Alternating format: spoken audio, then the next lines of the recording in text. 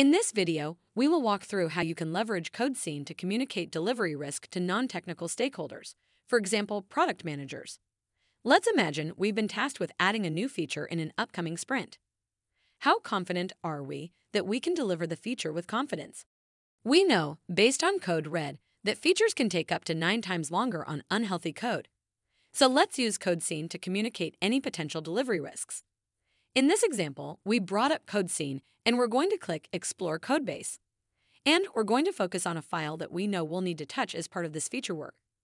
In this case, the file is red, so there's clearly delivery uncertainty.